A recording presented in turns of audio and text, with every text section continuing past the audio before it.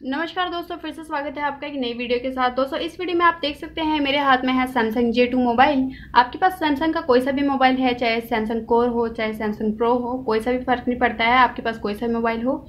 तो इसमें आपको बताने वाली हूँ कि आप कॉन्टैक्ट को कैसे ब्लॉक कर सकते हैं और ब्लॉक कॉन्टैक्ट को कैसे अनब्लॉक कर सकते हैं। तो चलिए इस वीडियो को स्टार्ट कर लेते हैं। तो वीडियो शुरू करने से पहले, अगर आपने मेरे चैनल पर पहली बार विज़िट किया है तो चैनल को सब्सक्राइब कर लीजिए।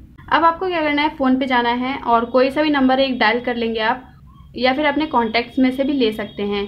तो यहाँ से मैंने कोई भी नंबर ऐसे उठा लिया और इसके बाद इस पर क्लिक करूँगी और मोर पे क्लिक करूँगी। यहाँ से ब्लॉक नंबर पे मैं क्लिक कर दूँगी और ओके कर दूँगी। और इसके बाद मैं बैक कर दूँगी। और कॉन्टैक्ट नंबर को ब्लॉक करने के लिए आपको क्या करना है? मोर पे चले जाना है और सेटिंग पे चले जाएँगे। और इसके बाद यहाँ पे आपको कॉल ब्लॉकिंग का ऑप्शन देखने को मिलता है। आपको इस पर क्लिक कर देना है। और यहाँ पे आपको ब्लॉक लिस्ट देखने को मिल जाएगा। आप इस पर क्लिक करेंगे। तो यहाँ पे आप देख सकते हैं कि आपको यहाँ पे नंबर ऐड करने का ऑप्शन दिखने को मिल जाता है।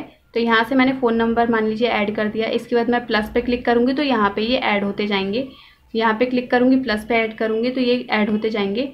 और इसके बाद अगर कॉल लॉक्स में से आपको एडिट करना है तो लॉक्स पे चले जाएँगे। तो रिसेंट में जो आपका नंबर है वो आ जाएगा और इसके बाद मैं इसको बैक कर देती हूँ। और लॉक्स पे चले जाएँगे और मेरे को ये वाला नंबर ऐड करना है तो मैं इस पर क्लिक करूँगी। तो ये नंबर यहाँ आ गया है तो प्लस पे कर दूँगी। तो ये नंबर आपका यहाँ पे आ जाएगा। और इसके बाद कॉन्टैक्ट्स पे चले जाएँगे। कॉन्टैक्ट्स में से कोई ब्लॉक करना है तो कॉन्टैक्ट्स पे चले जाएँगे और इसके बाद इसको क्लिक करेंगे। और कोई सा भी नंबर एक सेलेक्ट कर लेंगे जस्ट वन पे क्लिक करेंगे और ये नंबर यहाँ आ गया है तो इस पर प्लस पे क्लिक करेंगे। तो ये नंबर आप देख सकते हैं ब्लॉक हो गया है यहाँ से। और इसी तरह से अगर आप इस पर कॉल करते हैं तो ब्लॉक अनोनमस कॉल आता है, यानी कि जिसकी आइडेंटिफिकेशन नहीं होती है, अगर उसका कॉल आता है तो ये ऑटोमेटिकली ब्लॉक हो जाता है। तो ये आप डिसाइड कर लेंगे कि उसे ब्लॉक करना है या नहीं करना है।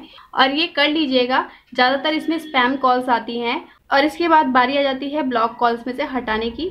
तो नंबर सेलेक्ट कर लेंगे और माइनस पे क्लिक कर देंगे ऐसे करके तो ये नंबर यहाँ से हट जाएँगे। तो इस स्टेप से आप इस पर क्लिक करते रहेंगे और ये हटते जाएँगे। और आप यहाँ पे देख सकते हैं, यहाँ पे मैंने सारे कॉन्टैक्ट्स को अनब्लॉक कर दिया है। तो इस टाइप से आप अपने नंबर्स को अनब्लॉक और ब्लॉक कर सकते हैं। तो आई होप गाइज़ ये वीडियो आपको ज़रूर पसंद आया होगा। अगर वीडियो से रिलेटेड कोई क्वेरी है तो नीचे कमेंट सेक्शन में पूछ लीजिएगा। तो चलिए मिलते हैं आपको एक नेक्स्ट वीडियो में। तब तक के लिए नमस्कार।